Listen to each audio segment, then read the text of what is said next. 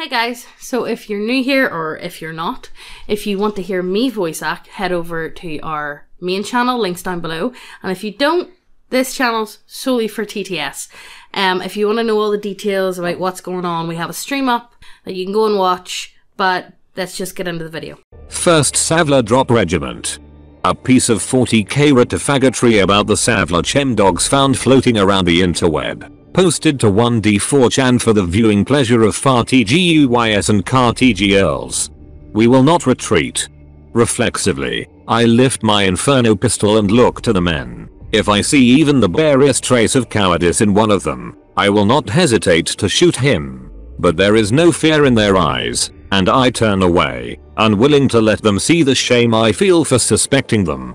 There are those who would question why I'm ashamed, and on the face of it, they'd be absolutely right too.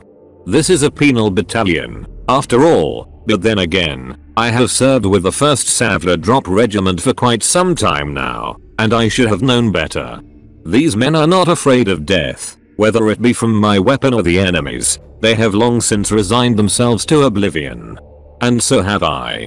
Our orders were to fall back, actually, there were few chimeras, too little time, and General Fontaine wanted all the guardsmen he could get for a counter-offensive.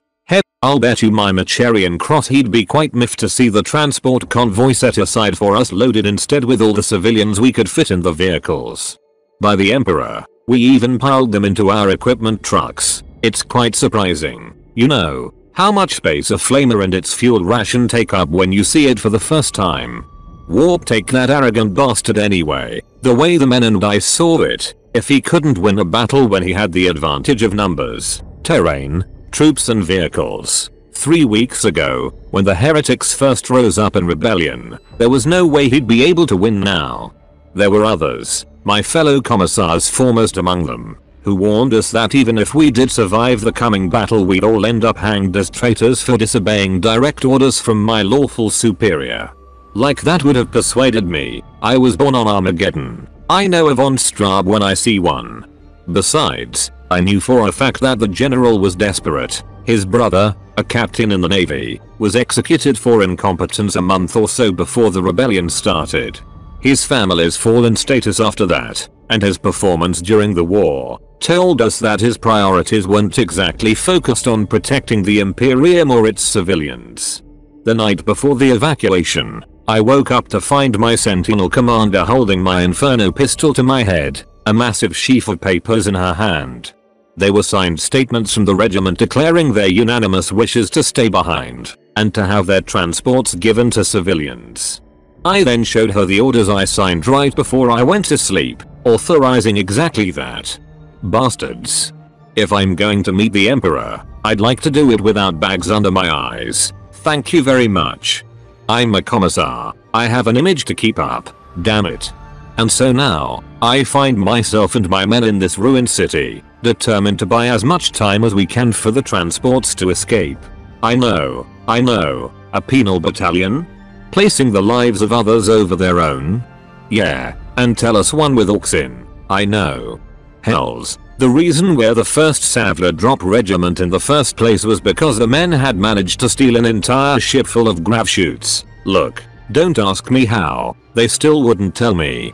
Besides, they stole an Inferno pistol and a Macharian cross while they were at it, and those are not gifts you sneeze at. I was with these men when they, oh, alright, we, stole Bjorn the Fell-Handed, though. I only admit this now because I know we're going to die, and besides, Bjorn had fun. That is to count for something, right? They're coming closer now. I can hear their screams in the distance. With each victory, or rather, with each of General Fontaine's failures, the heretic armies grew stronger, both from the demons they summon with innocent blood and from traitors from other guard regiments. I am proud to say that not one man in this regiment has turned. We may be criminals, every man jack of us, but we're not traitors. If I may be forgiven the conceit of including myself among these men, I would like to inform anyone who finds this missive that we do not have faith in the Space Marines, or the Inquisition, or whatever jumped up, power armored ponce with a medal the Administratum or Departamento Munitorum decides to throw at us. But we have faith in the Emperor. and we have faith in the Imperium. I saw the little girl earlier, while my men were unloading the trucks. She couldn't have been more than 6 years old. She was wearing a small, pink dress that had seen better days, and she was crying for her mother to let her go. Apparently, they left MR. Woofles behind. She was to be left behind herself. Apparently, Fontaine thought of all the civilians as, and I quote, combat ready fanatics, ready to die for the Emperor, and told us to give them whatever weapons we could spare so they could cover our retreat. The sergeant of my ratlings walked up to her. He told her everything would be okay, and that after we won the battle, we'd come back, and we'd have MR. Woofles with us. I'm glad we're staying behind. They're coming now. The traitors are in visual range. I look back to the men again. Beside me are the wardens, our regiment's elite soldiers. They're the only soldiers in plain sight. The rest of my men are in the buildings. Urban combat is where the men and women of Savlar are best suited to fight. I do not have to see their faces to know the hardships they have been through. Like I said, this is a penal battalion, and this isn't the first battle we've seen, though it is the biggest and the last, that's for sure. But as my eyes sweep over our soon-to-be graveyard, I notice things about my soldiers, things I have seen before, and I will never see again. I see discipline, where I should have seen bedlam. I see composure, where I should have seen mindlessness. I see true dedication, where I should have seen blind fanaticism. I see humility, where I should have seen resignation. I see determination, where I should have seen selfishness. I see peace, where I should have seen terror.